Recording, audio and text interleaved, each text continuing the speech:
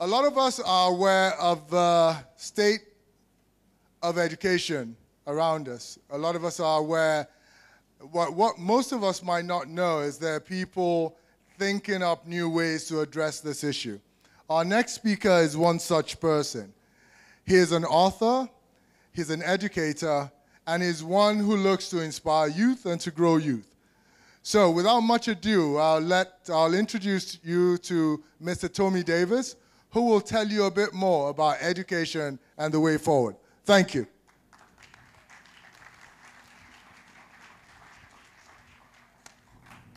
Holy Christ. Am I really here? Okay. Um, my talk's very simple. Okay?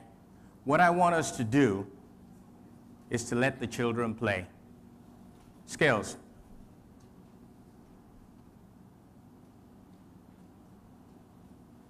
We can't hear them. What did you How say? are you all?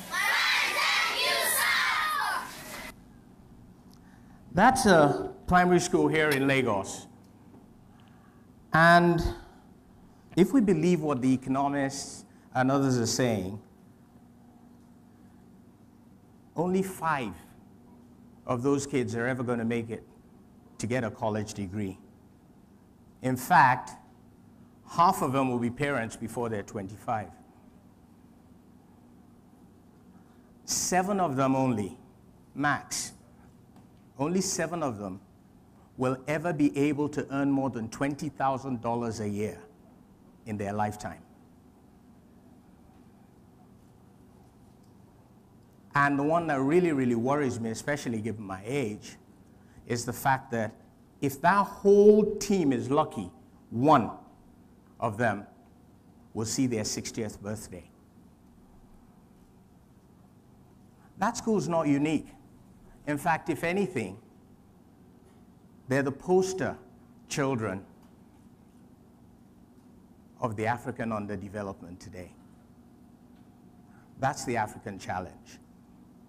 We could talk about child mortality. We could talk about life expectancy. We could talk about GDP per head. I could go on about statistics, but I'm not going to bother you with that. The key thing is this we can't compete in a world that is accelerating itself in development using information and communication technologies. That's the real challenge. And when you look at that, sorry about that, you find that the crux of the matter is the people we are growing. That is you, me, and everybody in here. How do we grow? We grow through education. And the challenge with education in Africa is very simple. The history of education is steeped in our colonial past. And the education systems then, rightfully so, were designed to create individuals that would be support staff to the colonial masters. The world's moved on. What hasn't changed, unfortunately, we've tweaked it right, left, a little to the right, and so on. But our educational system has not fundamentally changed from when it was left by our colonial masters.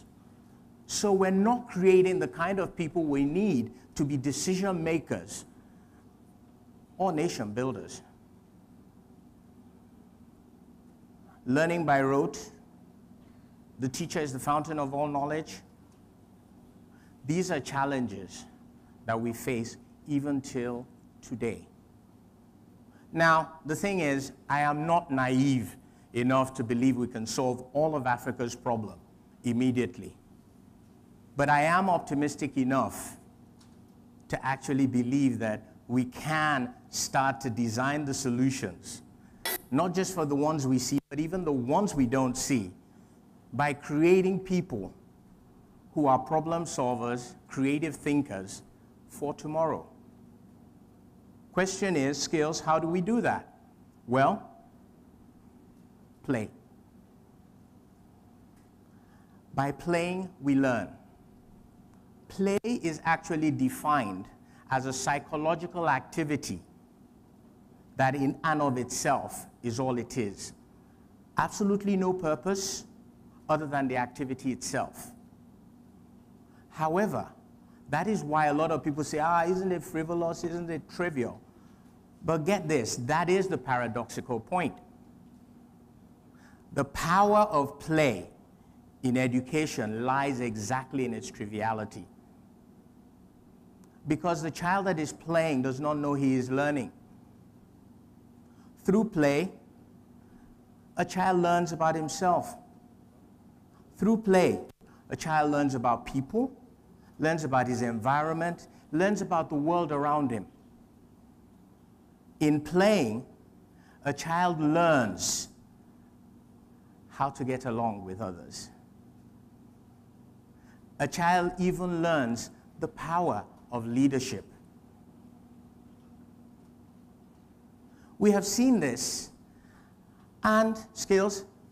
What we've decided to do is guess what? Rather than talk about it, let's just do it. So, that same school, remember, only one's going to get to 60 years old. We decided to create a playroom. And what we are doing, ladies and gentlemen, is we're letting the children play. Thank you very much.